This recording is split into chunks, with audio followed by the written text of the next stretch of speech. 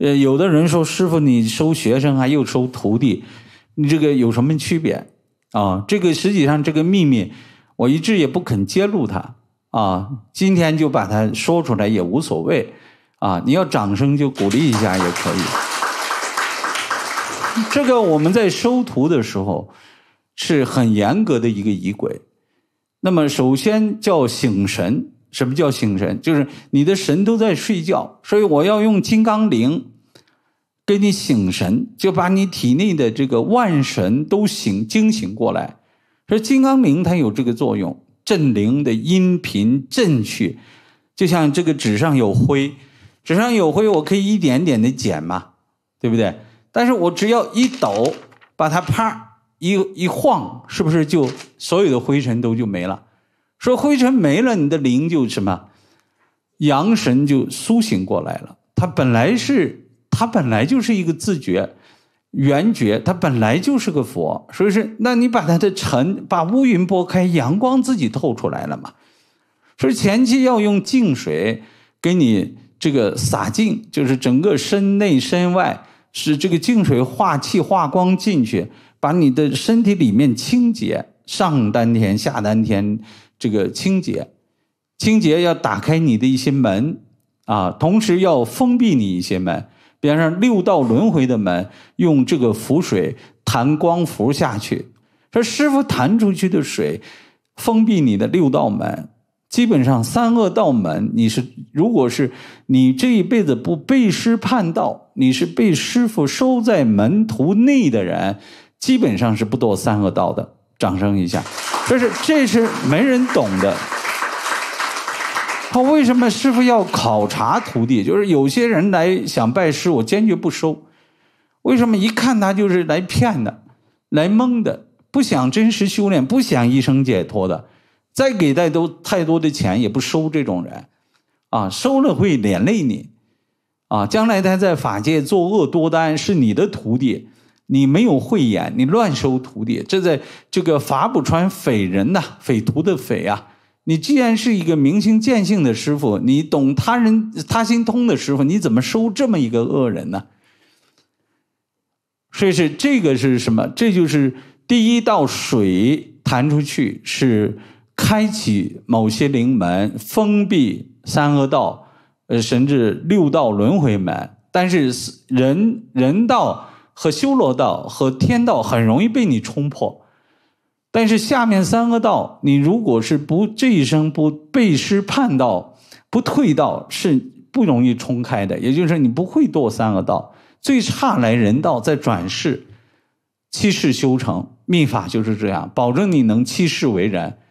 啊，这就是师傅的真正得道的师傅，他就有这个本事。但是只对门徒。进行这样的灌顶，啊，仪式操作。因为普通学生他跟张老师学了，还可以找李老师，还可以找王教授，还可以什么？他这一染一染一染，把你的净的东西都染染肮脏了。徒弟基本上是认定这个师傅我跟跟一辈子了。虽然我允许你去别的地方去参学，但是你整的这条路是跟着走下去了，你不会再走岔道不回来。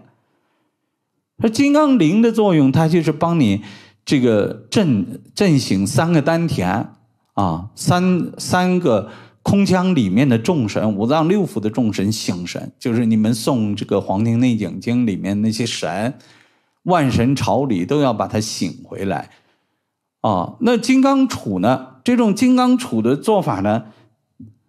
啊，这种金刚杵的做法，它是要连通你的八脉道。从八脉道的头顶海底会阴轮，然后这个叫海底轮，然后的九个通道，中央上下都有一个通道，边上有八个通道，都要给你打开。使用这个金刚杵，这个来完成。那么最后用金刚心杵给你固定，啊，然后定住三个丹田的玄珠不丧失，啊，那么最后。呃，还要赐你什么？呃，心里面要有这个准提佛母的这个心咒，啊，还要准提佛母的披甲护身，啊，披甲护身等于给了你一副盔甲，给了你一副盔甲，然后那些邪灵邪灵的东西，它就不能够作用你了。你看这个后面，这是个空的盔甲啊，这个准提佛母镜后面它是个一个呃这个盔甲，铜做的盔甲，有武器的盔甲。那么这个在灌顶的时候直接给你穿上了啊，然后再用这个前面的心镜给你的明点点开，真心显露。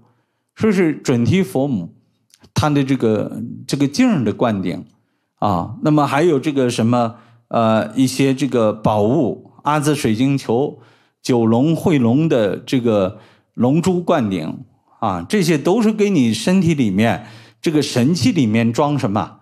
装宝，装宝。那么还有你们过去福缘比较深厚的，因为你们过去是修炼得到的。这些宝器宝物叫物质不灭，什么能量守恒？所以他就师傅在灌顶的时候，开顶灌顶的时候，基本上他做了一个连接，把你过去生修炼的那些法宝都请回来，灌入你的身体里面，使你这个神器里面什么拥有啊，拥有这些东西啊，拥有你就不一样了。你没有，你想用用不成；你拥有它，你随时可以去使用它。说是一个进入师门门内修行者和门外的学生是完全不一回事的，啊，说白了，这个师傅带徒弟，徒弟师傅要负责任的，学生呢，师傅不用负责任。为什么？我只是你的老师，就像幼儿园老师、中学老师、大学老师。